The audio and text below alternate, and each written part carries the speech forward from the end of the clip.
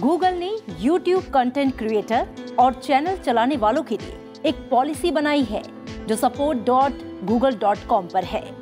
Policy के मुताबिक, अगर आप YouTube से कमाई कर रहे हैं तो ये ज़रूरी है कि आपका चैनल YouTube पर कमाई करने से जुड़ी पॉलिसी का पालन करता हो। YouTube की पॉलिसी में YouTube के कम्युनिटी दिशा निर्देश सर्विस की कंडीशन कॉपीराइट और गूगल एडसेंस प्रोग्राम की पॉलिसी शामिल है।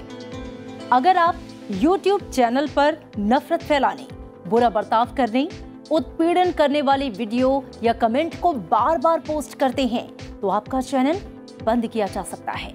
YouTube पर ऐसा कोई वीडियो जिसमें बुरे बर्ताव से जुड़ा गंभीर मामला या पोर्नोग्राफी का इस्तेमाल किया जा रहा है तो भी YouTube के नियमों के अनुसार ये उल्लंघन है।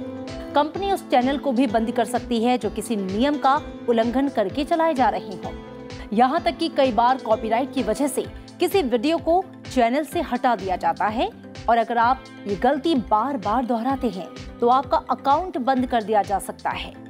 किसी दूसरे व्यक्ति का कंटेंट अपने चैनल पर उपयोग करने पर यदि उसकी शिकायत हो जाए तो YouTube आपका चैनल डिलीट कर सकता है। YouTube के कम्युनिटी गाइडलाइंस को फॉलो नहीं किया गया, तब क्या होगा? कम्युनिटी गाइडलाइंस का उल्लंघन करने वाले अपने YouTube चैनल से कमाई नहीं कर पाएँगे। उनके कंटेंट को प्लेटफॉर्म से हटा दिया जाएगा। YouTube से कमाई करने वाले क्रिएटर्स को ये पता होना चाहिए कि दिशा निर्देश किसी खास वीडियो पर नहीं, बल्कि पूरे चैनल पर लागू होते हैं।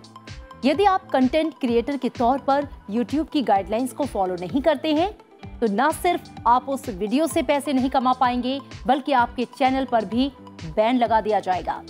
उसके बाद जब तक उसका रिव्यू नहीं किया जाता, वो बैन बना रहेगा।